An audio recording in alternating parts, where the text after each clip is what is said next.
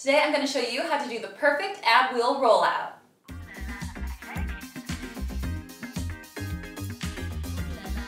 Hey guys and welcome back to my channel. So today I'm going to be showing you one of my very favorite ab exercises. This is the one ab exercise that will leave my abs feeling sore for a few days after I do them. I feel ab rollouts are one of the most effective exercises for your abs, but you do need to have an ab roller. So these have been around for years. They are amazing. They are a very simple piece of at-home equipment that you really should invest in. Um, they are fantastic, but you want to make sure that you're using them correctly with perfect technique and form to get the most out of the move. So before we use the ab roller, I'm just going to show you a few things uh, to focus on on the technique before we start using an ab roller. First thing is that we're just going to pop the roller aside and we're going to go into four point kneeling here. So from four point kneeling, you're just going to have your hands underneath your shoulders, knees under your hips. What we're going to do is a simple cat to cow exercise, just so you feel this movement of tucking the tailbone under and scooping the abs in and up, rounding through the spine, reaching that middle back up to ceiling, and dropping your chin to your chest. So as you do this, you feel those upper abs really engaging, those abs pulling in and up and then you can just release back to neutral. So tucking the tailbone under, scooping the belly in and up, rounding through the spine, and releasing. So let's do that one more time.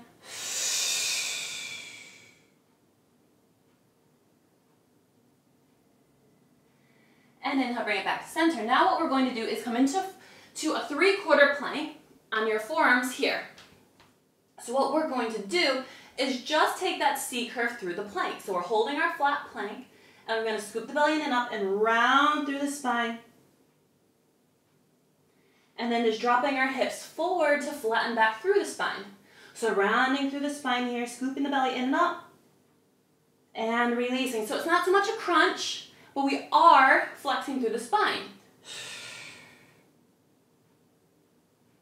Now I'm showing you these exercises as a little prep for your ab roller because a lot of times when you get to the ab roller, people just roll the roller forward with a very straight back and straight spine. But we want to get away from that habit. So if we do these just to warm up through the spine, finding that C curve before we start, it will make it really simple for us to find it when we do the actual exercise. Now, let's pop the ab roller into play now. So the first position that we're going to do is start in that four-point kneeling position, but rather than our hands on the mat, you now are holding onto your handles. Now what you want to do is keep the wrist as straight as possible. Watch that you don't break at your wrists. That's putting a lot of unnecessary pressure into the wrists, and we can just keep them straight. Now from here, I'm in a pretty flat back position, so I'm in neutral. But what I want to do is round the spine, tucking that tailbone under a little bit so we release any tension through the hip flex. So we take out that flexion in the hips. So now our abs are already engaged in a C curve. I'm not doing anything yet. I'm just gonna roll the roller forward a little bit so it's in front of my body and in front of the shoulders to start. This is my starting position, this is my ending position.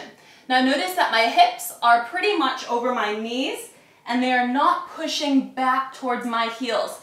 If you push the hips back, then you're gonna start pulling with your hips and the abs aren't doing the work. So if you bring it back into neutral, round through the spine, drop your chin down, and then roll the roller a little bit out in front of you, making sure the hips haven't pushed back.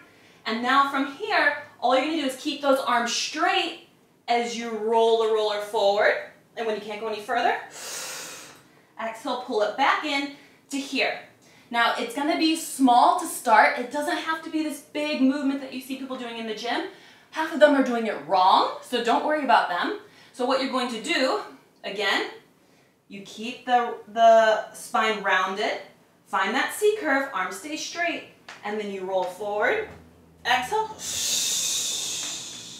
and as you do this, as you pull back in, you really feel that scoop of the abs and through the spine. And again, rolling out, Exhale, roll yourself back in.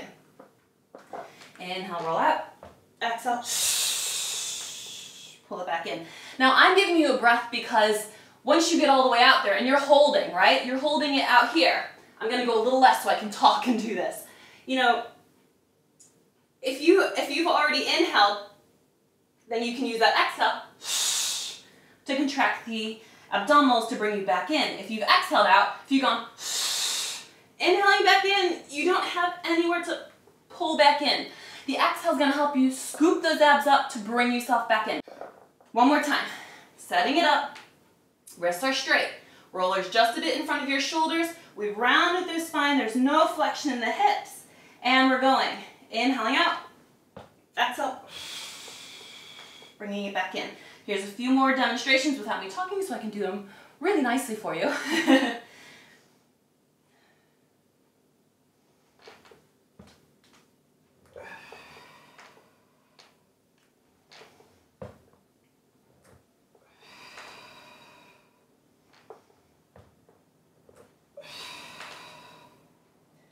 Right, so now, once you've mastered it going straight forward and back, you can also take it on an angle. See, our abs aren't just working one plane, they work in all different directions. So you could take the roller out to the side, and in, maybe center, and in, off to the other side, and back in, just to get into those obliques a little bit more.